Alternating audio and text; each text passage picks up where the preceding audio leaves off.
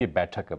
आज वर्चुअल बैठक होगी। बैठक थोड़ी देर में शुरू होने वाली है। बैठक का एजेंडा क्या है? कि इन चीज़ों पर विचार होगा?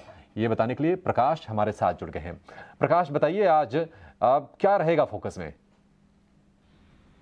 देखिए वीडियो कॉन्फ्रेंसिंग के ज़रिए जीएसटी काउंसिल की आज एक अहम बैठक होने जा रही है और ये बैठक मुख्य रूप से ऑनलाइन गेमिंग के मसले पर बुलाई गई है। जैसा कि आपको पता है कि पिछली बैठक में जीएसटी काउंसिल ने यह फैसला किया था कि चाहे किसी भी कैटेगरी के ऑनलाइन गेमिंग हो चाहे वो गेम ऑफ़ स्किल हो गेम ऑफ़ चांस हो उसके ऊपर यूनिफॉर्म 28 परसेंट जीएसटी जो है वो चार्ज किया जाएगा वो भी आ, फुल फेस वैल्यू के ऊपर।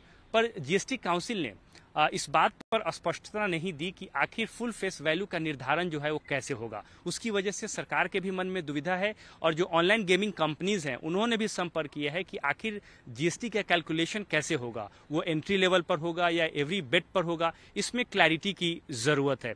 लिहाजा इस मसले पर आज चर्चा होगी और जीएसटी काउंसिल जो है, अट्ठाईस percent GST full face value पर कैसे निर्धारण होगा, उसका फ्रेमवर्क जो है वो तय कर सकती है।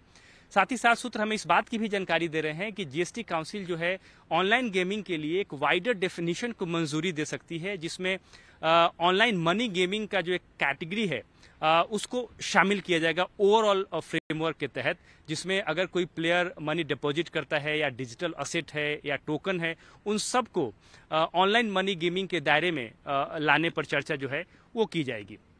एक और अहम मसला है जैसा कि हमें सूत्र बता रहे हैं और प्रस्ताव में शामिल है आ, वो है जो विदेशी ऑनलाइन गेमिंग प्लेटफॉर्म्स हैं और एप्स हैं उसका ट्रीटमेंट आखिर कैसे हो? सूत्र हमें बता रहे हैं कि प्रस्ताव के हिसाब से जीएसटी काउंसिल जो है, ऐसे विदेशी जो ऑनलाइन गेमिंग प्लेटफॉर्म्स हैं एप्स हैं, उनके लिए ज़रूरी कर सकता है कि उन्हें देश के अंदर रजिस्ट्रेशन कराना ज़रूरी होगा। साथ ही साथ उन्हें जीएसटी के दायरे में लाने का भी प्रस्ताव है और जो भी दूसरी कानूनी बाध्यताएँ हैं, जो कि डोमेस्टिक ऑनलाइन गेमिंग प्लेटफॉर्म्स पर लागू है, वो विदेशी प्लेटफॉर्म्स पर भी लागू किया जाएगा। तो ये तमाम इंपॉर्टेंट एजेंडा जो है आज जीएसटी काउंसिल के सामने है और हमें जानकारी मिल रही है कि काउंसिल बैठक के बाद इस पर सफ़ाई जारी करेगी। हम्म बिल्कुल। तो चार बजे ये बैठक होगी, इस पर हमारी नज़र बनी रहेगी। ऑनलाइन गेमिंग को लेकर यहाँ पर कुछ बड़ा फैसला हो सकता है। इसके चलते हम नज़ारा टेक जैसी कंपनियों पर नज़र रखें उस पर कुछ असर देखने को मिल सकता है। चलिए